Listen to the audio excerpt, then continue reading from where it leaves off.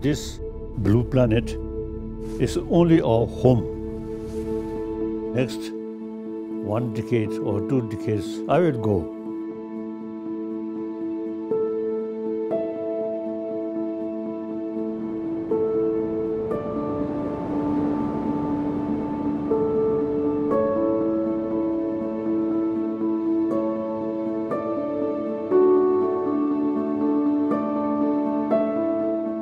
On moon also some uh, water but uh, see uh, we try to settle there impossible.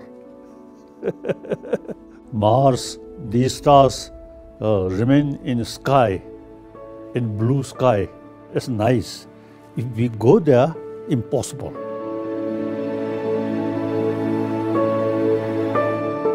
In india vegetarianism in thousand years. Uh, in the West, you see, too much eat meat. Well, not only is a question of a sense of sort of love these animals, uh, but itself, you see, very bad for uh, ecology.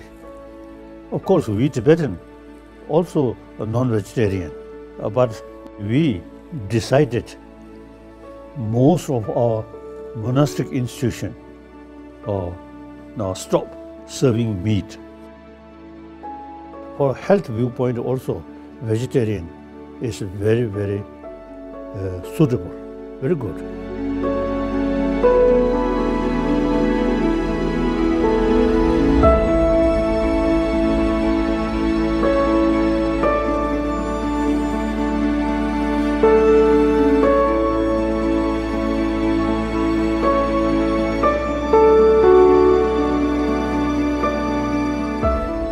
Coming generation, they should think the present planet, blue planet, is only our home.